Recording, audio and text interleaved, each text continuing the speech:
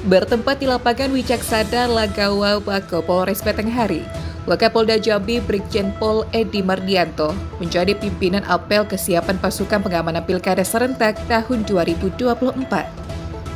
Dalam kesempatan tersebut, Brigjen Pol Edi Mardianto juga sekaligus melakukan peninjauan langsung kesiapan 312 personel Polres Batanghari yang bertugas sebagai pasukan pengamanan Pilkada serentak tahun 2024 di wilayah Kabupaten Batanghari.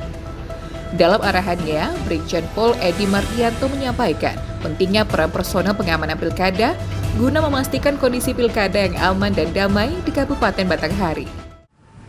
Reskrimsus maupun satu lagi bum kalau di Polda mungkin di wilayah. Nah ini satu saya ingatkan. Tidak ada lagi anggota tertangkap bermain-main lebih lanjut, Brigjen Pol Edi Mardianto mengingatkan kepada para personel yang bertugas untuk tetap melakukan pengawasan pilkada hingga pimpinan daerah terpilih dan dilantik.